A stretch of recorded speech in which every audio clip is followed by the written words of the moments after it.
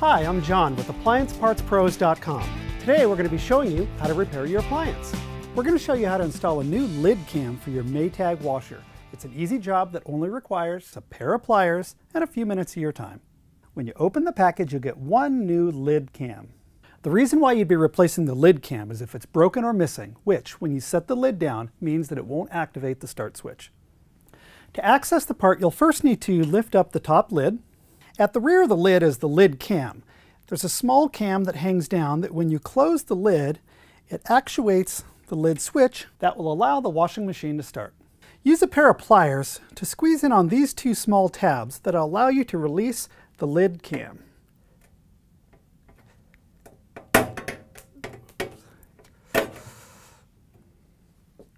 Here's the old lid cam next to the new one. If you already have the new part, great. If not, you can get it at appliancepartspros.com.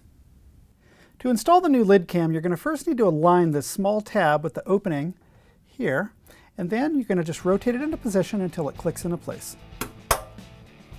Now that the new part is installed, lower down the lid, and then you're done.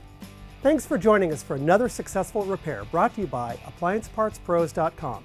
And be sure to check out our other repair videos on our website, on our Facebook page, and on our YouTube channel.